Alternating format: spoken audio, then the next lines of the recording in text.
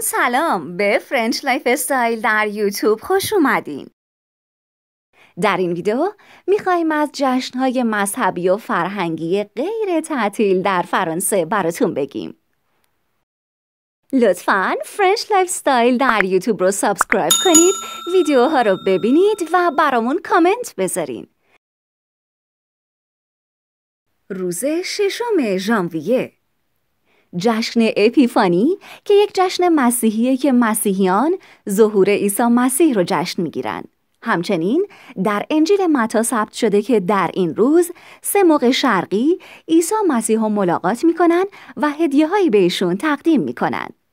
در فرانسه به مناسبت این روز نوعی شیرینی به نام گلت درست می‌کنن که به اون گلت دوغوا گفته میشه. دومین روز از ماه فوریه جشن شاندلور یک جشن مسیحیه که چهل روز بعد از تولد عیسی مسیح و به مناسبت روز معرفی و بردن عیسی مسیح به معبد جشن گرفته میشه. در این روز معمولا خانواده ها همراه با بچه ها یا دوستانشون شیرینی کرپ درست می‌کنن. چهاردهم ماه فوریه جشن سنت ولنتاین یا روز عشق در این روز اشاق با هدیه دادن به همدیگه جشن می‌گیرن. شانزدهم فوریه روز مقدیگقا یا سهشنبه چرب که ریشه در دین مسیحیت داره. در واقع یک هفته قبل از شروع فصل روزهداری مسیحیانه. در طی این هفته کارناوال های مختلف فرهنگی و هنری با لباس های مبدل و رنگی اجرا میشه. هفتم ماه مارس روز مادر بزرگ هست که هر ساله در اولین یک شنبه ماه مارس در فرانسه برگزار میشه. جالبه بدونید که نامگذاری این روز در ابتدا ایده برند قهوه گراند مغ بود که در سال 1987 اجرا شد. هفدهم ماه مارس جشن سنت پاتریک که یک جشن فرهنگی و مذهبیه که به یاد سنت پاتریک کسی که گفته میشه مذهب مسیحیت رو به ایرلند آورد برگزار میشه و به نوعی میراث فرهنگی ایرلندی هاست. نماد این روز شب در ایرلندیه.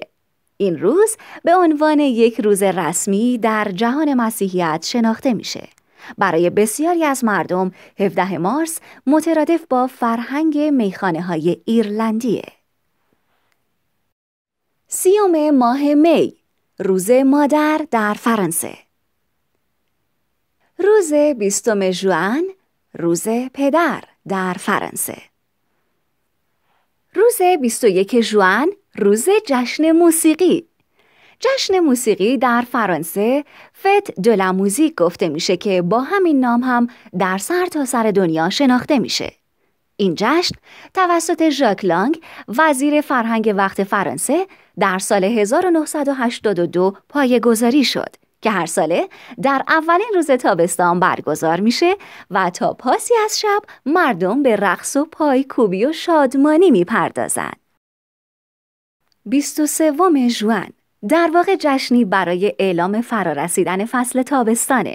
همچنین مهمتر از اون روز سنت ژان باتیست یا یحیای تعمید دهنده است. این روز روز جشن ملی کبک هم محسوب میشه که فقط در استان کبک کانادا به عنوان روز تعطیل رسمی شناخته میشه.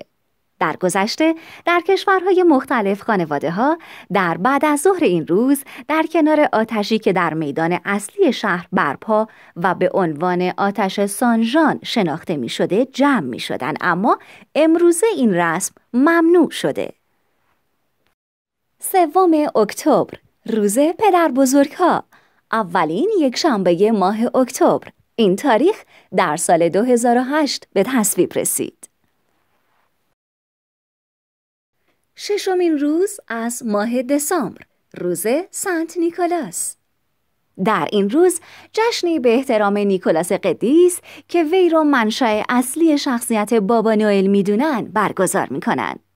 از سنت نیکولاس به عنوان ناجی و محافظ کودکان خوب و با ادب یاد میشه که به اونها هدیه هم میده.